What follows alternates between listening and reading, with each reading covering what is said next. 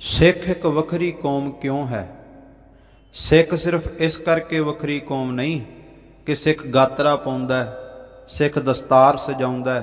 ਸਿੱਖ ਗੁਰੂ ਘਰ ਆਉਂਦਾ ਸਿੱਖ ਕੇਸ ਦਾੜਾ ਰੱਖਦਾ ਖਾਲਸਾ ਜੀ, ਇਹ ਬਾਹਰਲੀਆਂ ਕਿਰਿਆਵਾਂ ਤੇ ਨੇ, ਪਰ ਜੇ ਅਧਿਆਤਮਿਕ ਤੌਰ ਤੇ ਅਨੁਭਵ ਕਰੀਏ, ਪਤਾ ਲੱਗੇਗਾ ਕਿ ਸਿੱਖ ਕੌਮ ਇਸ ਕਰਕੇ ਵੱਖਰੀ ਹੈ ਕਿ ਸਿੱਖ ਸਿਰਫ ਪਹਿਰਾਵੇ ਕਰਕੇ ਸਿੱਖ ਨਹੀਂ ਬਲਕਿ ਇਹ ਹਮੇਸ਼ਾ ਸਿੱਖਣ ਨੂੰ ਤਿਆਰ ਰਹਿੰਦਾ ਹੈ ਤੇ ਸਿੱਖਣ ਲਈ ਤਿਆਰ ਉਹੀ ਰਹਿ ਸਕਦਾ ਜਿਹਨੂੰ ਆਪਣੇ ਗਿਆਨ ਦੇ ਉੱਤੇ ਹੰਕਾਰ ਨਾ ਹੋਵੇ। ਭਾਵ ਜਿਹਦੇ ਕੋਲ ਨਿਮਰਤਾ ਹੋਵੇ, ਉਹੀ ਸਿੱਖ ਹੈ ਤੇ ਨਿਮਰਤਾ ਹੀ ਸਿੱਖ ਨੂੰ ਵੱਖਰਾ ਬਣਾਉਂਦੀ ਹੈ।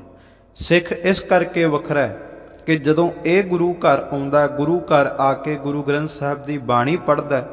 ਤੇ ਸਮਝ ਆਉਂਦੀ ਹੈ ਕਿ ਅਵਲ ਅੱਲਾਹ ਨੂਰ ਉਪਾਇਆ ਕੁਦਰਤ ਕੇ ਸਭ ਬੰਦੇ ਏਕ ਨੂਰ ਤੇ ਸਭ ਜਗ ਉਪਜਿਆ ਕੌਣ ਭਲੇ ਕੋ ਮੰਦੇ?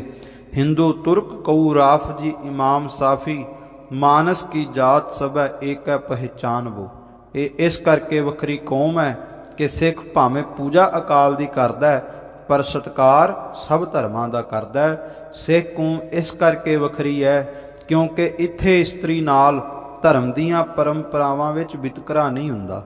ਸਿੱਖ ਕੌਮ ਇਸ ਕਰਕੇ ਵੱਖਰੀ ਹੈ ਕਿ ਜਿੱਥੇ ਇਹ ਆਪਣੇ ਧਰਮ ਵਿੱਚ ਪ੍ਰਪੱਕ ਹੈ ਖਾਲਸਾ ਜੀ, ਉੱਥੇ ਦੂਸਰਿਆਂ ਦੇ ਧਰਮ ਦੀ ਰਾਖੀ ਲਈ ਇੱਕ ਕੁਰਬਾਨੀ ਵੀ ਕਰਦਾ ਹੈ। ਸਿੱਖ ਕੌਮ ਇਸ ਕਰਕੇ ਵੱਖਰੀ ਹੈ